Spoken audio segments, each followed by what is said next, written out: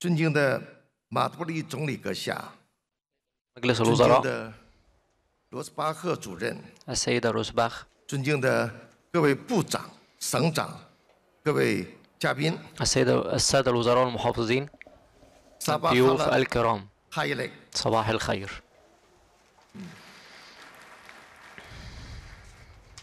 今天是第十一个世界的城市日， اليوم هو يوم المدن العالمي. الذكرى الحادي عشر. وألتقي بكم في هذه المدينة الساحلية الجميلة الإسكندرية. لنتشارك معا الاحتفال العالمي باليوم العالمي. نتناقش كيفية تعزيز التنمية المستدامة للمدن العالمية. وممثلة للحكومة الصينية. ودنا أعرب عن تهانينا الحارة على انعقاد هذا الاحتفال. منذ إنشاء اليوم العالمي للمدن ظل يركز على تعزيز أهداف التنمية المستدامة للمدن العالمية ويهدف إلى خلق نمط تنمية شامل ومتوازن منسق ومتسامح متعاون ومزدهر للجميع. على مدار أكثر من عشر سنوات توسع تأثير اليوم العالمي للمدن بشكل ملحوظ وزاد دوره بشكل بارز حتى أصبح منصة مهمة للدول لتبادل الخبرات وخلق مستقبل أفضل مما عزز التعاون بين البلدان في جميع أنحاء العالم. تم اختيار هذا الاحتفال في مدينة الإسكندرية عروس البحر المتوسط. واليوم قام معالي رئيس الوزراء بزيارة الاحتفال شخصياً. وهو ما يعكس تمام الأهمية الكبيرة من الحكومة المصرية ودعمها القوي لقضية التنمية المستوى للمدن العالمية. وهنا أود أن أعبر عن احترامي العميق لبرنامج الأمم المتحدة للمستوطنات والحكومة المصرية ومحافظة الإسكندرية على كل جهودهم الرائعة في استضافة هذا الاحتفال. السيدات والسادة الأصدقاء الأعزاء أن الشباب هم إمامة مستقبل المدن ويحملون على عواتقهم أمال البشرية. يقوم الاحتفال لهذا العام تحت عنوان الشباب صناع تغيير المناخ من أجل الاستدامة الحضرية ويهدف إلى تحفيز الطاقة والحيوية والإبداع لدى الشباب للتصدي للتحيات الناجمة عن تغير المناخ ولبناء المدن أكثر ملائمة وأكثر ذكاء أمانا وجمالا. إن الحكومة الصينية تهتم دائما بشؤون الشباب واحتياجاتهم مثل الإسكان والتوظيف والرياضة والتفاعل الاجتماعي.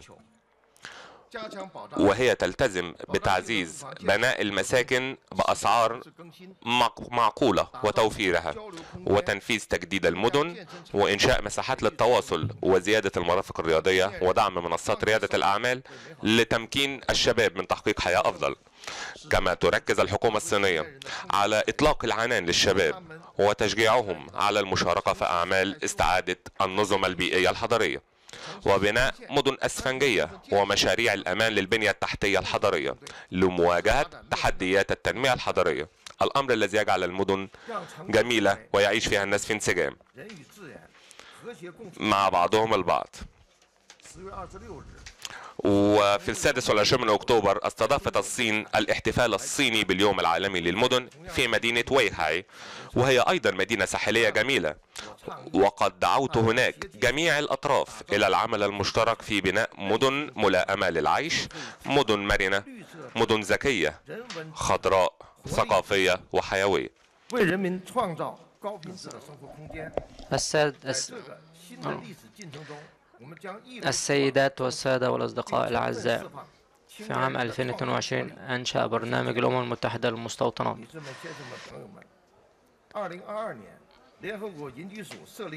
البشرية. أنشأ برنامج الأمم المتحدة للمستوطنات البشرية الجائزة العالمية للمدن المستدامة جائزة شانغهاي. في الجلسة الأولى حصلت خمس مدن بما فيها بريسبان في أستراليا وفوتشو في الصين وكومبالا في أوغندا وجورجيا تاون في بينانغ ماليزيا وسلفادور في البرازيل على هذه الجائزة وقدمت لنا أمثلة رائدة في التنمية المستدامة للمدن واليوم في حفل توزيع الجوائز في الجلسة الثانية. ستلتقي خ... سنلتقي بخمس مدن جديدة على هذه الجائزة. السيادات والسادة الأصدقاء الأعزاء.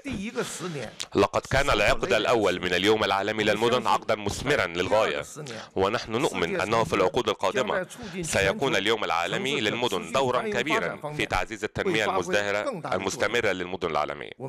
نحن على استعداد للعمل مع الدول الأخرى في جميع أنحاء العالم للمشاركة في مبادرة التنمية العالمية وتسريع تنفيذ أجندة الأمم المتحدة للتنمية المستدامة لعام 2030 والأجندة الحضرية الجديدة وتحسين جودة البناء الحضري وزيادة كفاءة إدارة المدن وتعزيز حيوية التنمية الحضرية والعمل المشترك.